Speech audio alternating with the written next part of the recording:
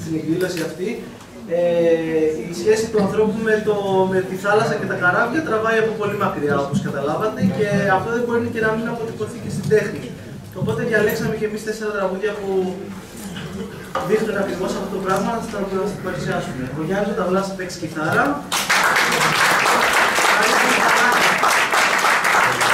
Μαριάννα Χαλάκα τραγουδάει και παίζει βιολί. Και εγώ είμαστε ένας Σταγιαναβλός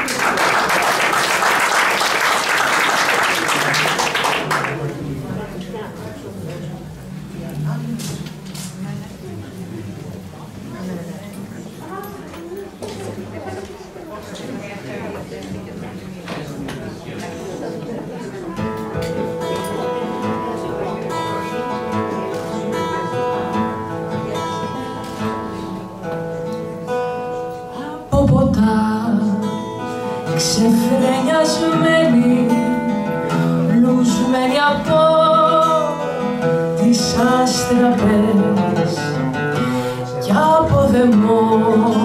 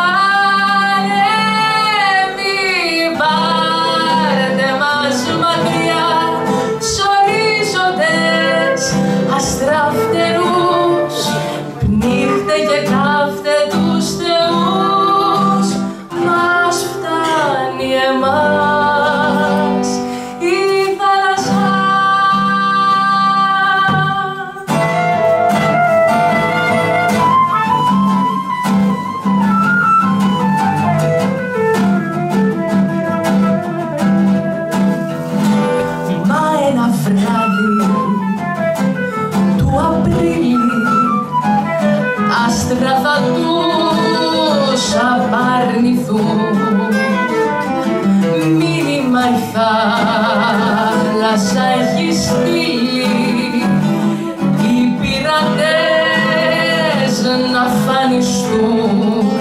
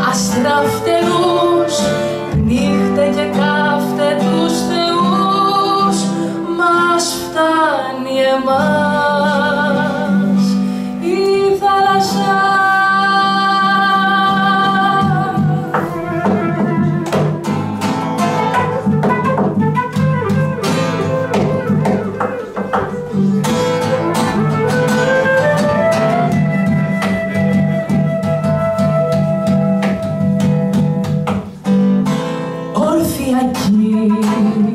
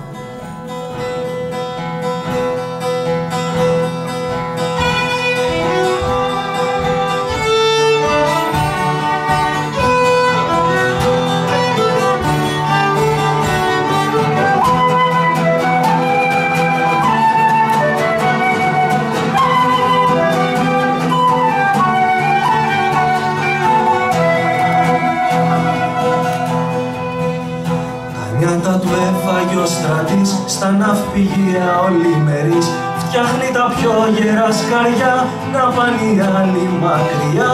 Να ταξιδέψουνε τη γη οι τυχεροί, οι τυχεροί.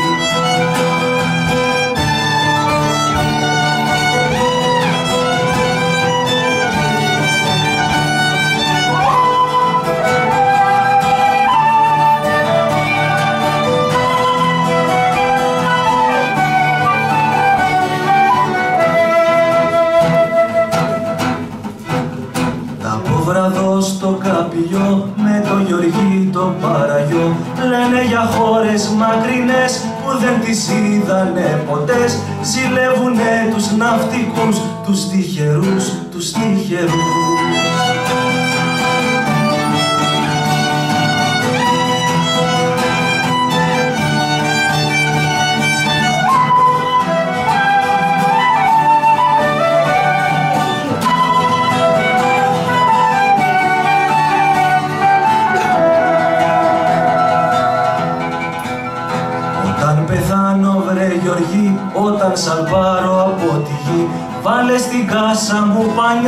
βάλε της άλγουρας χινιά, πες πως ταξίδεψε κι αυτός ο τυχερός, ο τυχερός.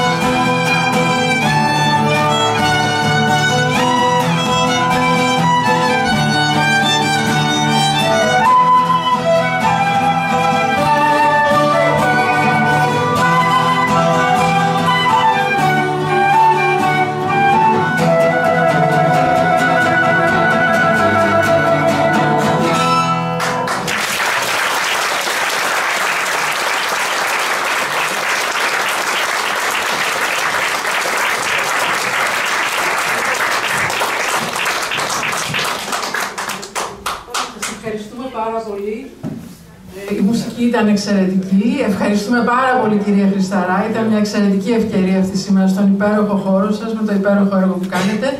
Σας καλούμε όλους τώρα με τόλμη να δοκιμάσετε μικυναϊκά εδέσματα στο πέτρινο σπιτάκι δίπλα. Ευχαριστώ πάρα πολύ που ήρθατε και γιορτάσατε μαζί. Μια καλοκαίρι χρονιά. Το βιβλίο, επειδή με ρωτάνε κάποιοι, θα υπάρχει και στην κουκίδα.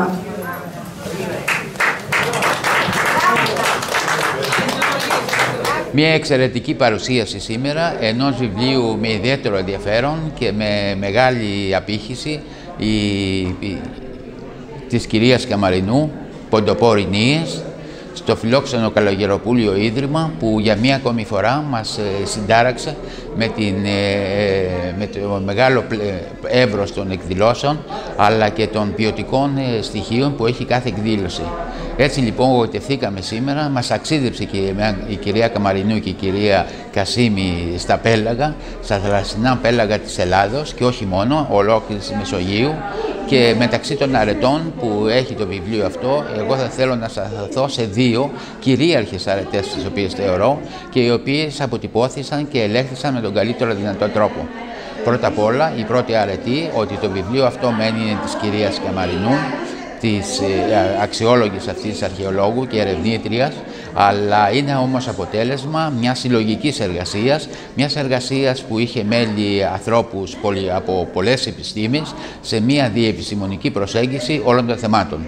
Αυτό είναι ένα καλό μήνυμα το οποίο στέλνεται πλέον σε όλα τα βιβλία, ε, διότι για να γράψει κανείς πλέον ένα σύγγραμμα, ένα πόνημα, αλλά ένα επιστημονικό βιβλίο, δεν πρέπει να αρκεστεί στις γνώσεις τις δικές του, αλλά θα πρέπει να υπάρχει και να τον διακρίνει μια ευρύτητα με τη συμμετοχή άλλων, τουλάχιστον σε επίπεδο απόψεων και σε επίπεδο ε, διαλόγου. Ένα δεύτερο στοιχείο που πρέπει θέλω να σταθώ και ήταν ένα μήνυμα το οποίο στέλνει το βιβλίο αυτό ήταν για τη χρήση της θάλασσας και τη σημασία της θάλασσας, της Μεσογείου ιδιαίτερα, στη ζωή των ανθρώπων όλων των εποχών. Μια, μια, μιας εποχής που διαπραγματεύεται μεν το βιβλίο της Μικυναϊκής εποχής, αλλά έχει ιδιαίτερη σημασία και για τις μέρες μας. 24 κράτη περιβρέχονται γύρω από τη Μεσόγειο και για, την οποία, για τα οποία κράτη η Μεσόγειος είναι μια πηγή ζωής και μια πηγή πολιτισμού και ε, συμμετοχής στην κοινή προσπάθεια της προκοπής αυτών των κρατών.